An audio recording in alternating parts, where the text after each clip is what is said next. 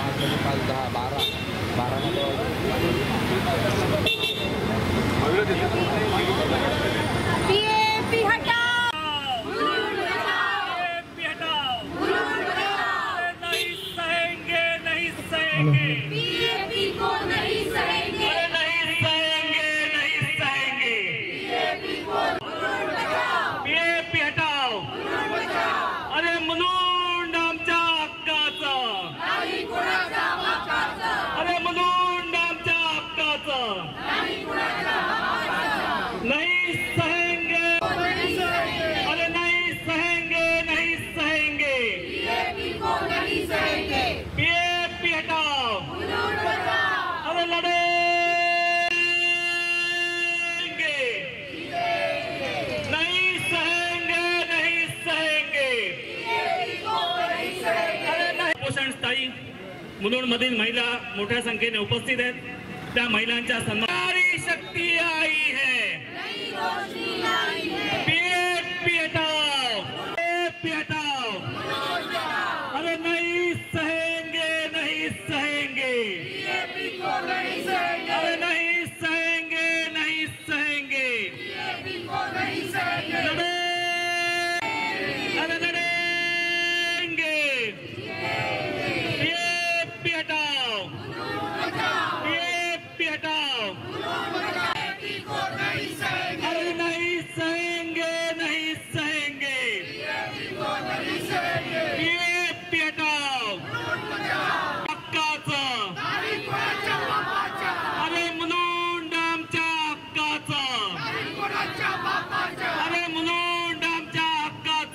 चौदा तासाच्या वर तुमचं हे उपोषण होऊन गेलेलं आहे.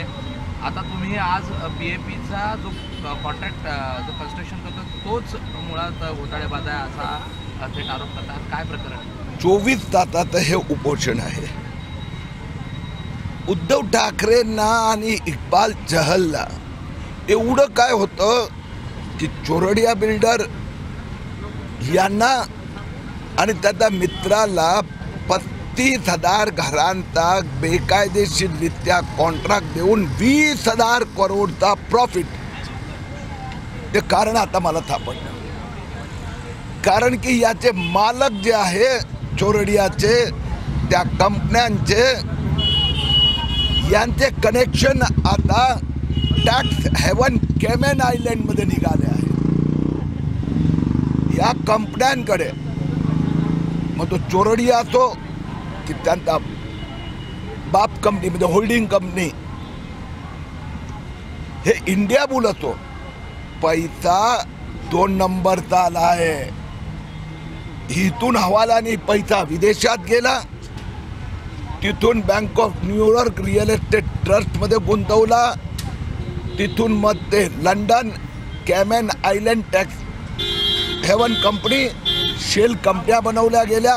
सतरा कंपन्यांचं जाळं.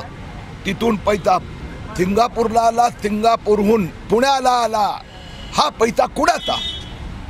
हे फक्त उद्धव ठाकरेच सांगू शकणार.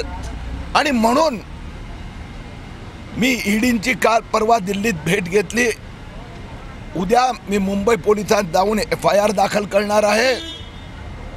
की सतरा कंपन्यांचं जाळं मुलुंडचा पी ए पी कॉन्ट्रॅक्टसाठी का भांडूपचा पी ए पी कॉन्ट्रॅक्टसाठी का प्रभादेवीचा पी ए पी कंपनीसाठी का आणि हा हवालाने इथून जो पैसा गेला तो कुणाचा होता वीस हजार कोटीची लूट उद्धव ठाकरे कुणाला देत होते हे शोधावं लागलं किती मोठा हा घोटाळा आहे? याची व्याप्ती किती आहे? किती कोटीची म्हणजे संपूर्ण प्रकल्प वीस हजार कोटीचा म्हणताय त्याच्यात खरं म्हणजे त्याच्यापेक्षा महत्त्वाची बाब असे की उद्धव ठाकरेंनी या घोटाळ्याची प्लॅनिंग सुरुवात मातोश्रीमध्ये बसून ज्यावेळी मातोश्रीच्या आपल्या बेडरूममधून ते कोविड लॉकडाऊनमध्ये बाहेर पडत नव्हते त्यावेळी केली. जुलै दोन हजार वीसमध्ये मिटिंग झाली. या इथल्या मुलुंडच्या कंपन्यांचे मालक इक्बाल चहल उद्धव ठाकरे पस्तीस हजार घरांचा कॉन्ट्रॅक्ट महापालिका मार्केट दराने म्हणजे प्रभादेवीचं घर एक कोटी चौदा लाखात जुहूचं ऐंशी लाखात मुलुंडचं चौपन्न लाखात म्हणजे जवळजवळ अठ्ठावीस तीस हजारांचं घरं घेतली जाणार. बिल्डरला सगळंच मोफत देण्यात आलं आहे. वीस हजार कोटी रुपये बिल्डरला मिळणार आहे. हा वीस हजार कोटीमध्ये आता कुणाचा खिशात किती जाणार? कुणाचा स्विस बँकमध्ये जाणार की कोणाचा केमेन आयलँडमध्ये जाणार? हे फक्त दोनच व्यक्ती सांगू शकतात. एक उद्धव ठाकरे आणि दुसरे मुंबई महापालिका आयुक्त इक्बाल चहल. इक्बाल चहलांवर तुम्ही वारंवार हे आरोप करत आहात. मात्र सरकार सत्तेत केंद्रातही मी या बाबतीत मला मान्य नाही आहे मुंबईकरांना पण दुःख वाटतंय मलाही खेद वाटतो. बारा कोविडचे घोटाळे इक्बाल चहलच्या नेतृत्वाखाली निघाले आहेत. आमची पोलीस डेप्युटी म्युन्सिपल कमिशनरला जेलमध्ये टाकते. हॉस्पिटलच्या डीनमधला टाकते. मग इक्बाल चहलला जाब केव्हा विचारणार मुंबई पोलीस? आणि कसलं त्यांचं नेतृत्व? बारा घोटाळे झाले. रेमडेसिवीर चोरल्या गेल्या. ऑक्सिजन चोरल्या गेल्या. ते कोविड मृतदेहाचं कफन चोरलं गेलं. म्हणून याच्यासाठी इक्बाल चहल पण जबाबदार आहेतच मग हे खातं देवेंद्र फडणवीसांकडे आहे गृह विभाग. इक्बाल चहलांच्यावर कारवाई करण्याची मागणी करणार आहात का? मी सातत्याने करतोय. सगळे जेवढे घोटाळे मुख्यमंत्री विधानसभेत मांडतात की देवेंद्र फडणवीस बाहेर मांडतात हे सगळे किरीट सोमय्यांनी पणात आणलेत. मग या घोटाळ्यात का अडखळतोय इक्बाल चहल? हा घोटाळाचा एफ आय आर होऊ देत नाही इक्बाल चहल. हा घोटाळा कॅन्सल करत नाही. कारण की त्याचा पोटात पाप आहे.